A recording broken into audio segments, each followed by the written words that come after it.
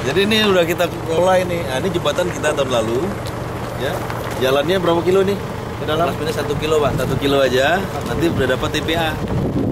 Jadi saya minta sama Pak Rahmat nanti bagaimana caranya pokoknya tahun ini sampah kita sudah pindah ke sini.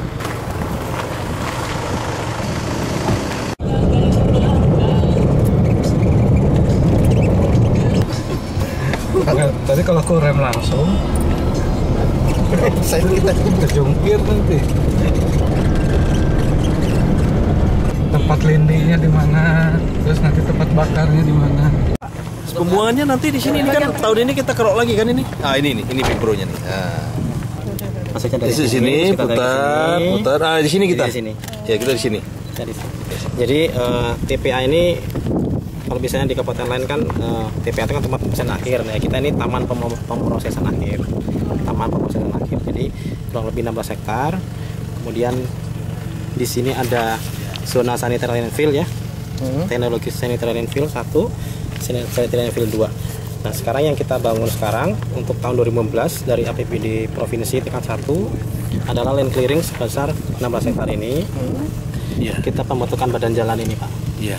pembentukan badan jalan ini sebesar kemudian ada satu lagi adalah eh, agregat ini pelapisan agregat, Iya. dari Bina Marga Pak yang kita kerjakan adalah yang di sini dulu Pak Eh, ini adalah untuk 10 tahun pertama jadi yang di sini belum kita belum kita laksanakan.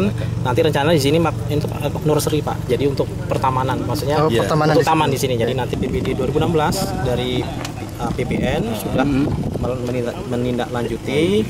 Mereka sudah menyambut baik uh, rencana dari Pemprov untuk uh, melaksanakan kegiatan ini. Mereka telah menganggarkan 25 miliar. Nah 25 miliar itu mereka konsentrasinya adalah untuk uh, pembentukan sanitary landfill yang pertama ini kemudian mereka perkerasan jalan ini kan sudah Iya. diagregat Iya. mereka akan membuat rigid pavement Rigid pavement. rigid pavement-nya di sini Nah, kalau kami di APBD 1, kami sudah menganggarkan sekitar 5 miliar. Nah, kami kami konsentrasinya adalah di sini, Pak, di bangunan penunjang.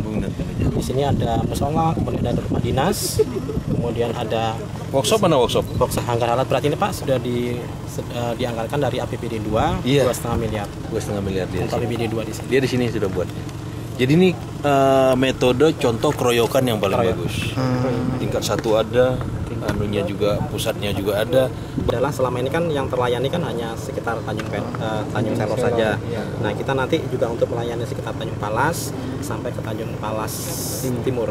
Kalau seandainya nanti sampah plastik sudah besar, sudah banyak, ya kita juga nanti bisa menyiapkan mesin-mesin untuk eh, untuk cacah plastiknya. Ya itu menyerap tenaga kerja, ya mereka sendiri yang mengelola. Biasanya itu dari Cipta Karya. Itu sudah ada yang kita panikan. Contohnya kayak di belakang pasar Induk ya. Pasar Induk itu sudah ada. Nah, ini kita nanti kita manfaatkan ini seperti ini.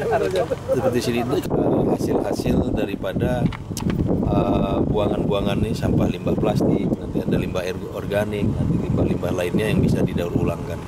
Untuk yang kita mau jadi ada pilot project untuk Indonesia loh ini nanti. Nanti ada yang namanya apa namanya yang yang, yang uh, penyerapan air begitu min- keluar langsung lindi. Jadi air yang ada di sana nanti kita pakai pengelolaan uh, limbah itu begitu keluar airnya itu sudah bukan di harus dia sudah ramah lingkungan sudah langsung bisa diminum. Nah, Lindi-lindi itu sudah kita produksi menjadi air minum nanti. Nah inilah juga sama. Begitu juga uh, energi. Ya dari segi energi Pak Gub kan sudah menyampaikan bahwa uh, untuk energi pun kita akan dapat dari persampahannya ini.